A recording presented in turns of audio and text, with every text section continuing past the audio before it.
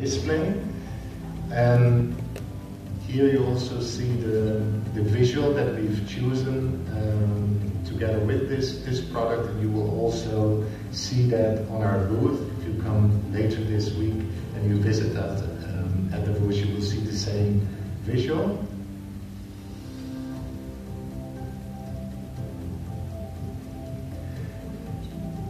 The first step is that you put uh, the, the plaster on a flat surface and then you click on the inserter. This can only be done in one way. Um, when they are clicked together, you clean the area where you want to insert uh, the sensor and you remove uh, the protection from the plaster.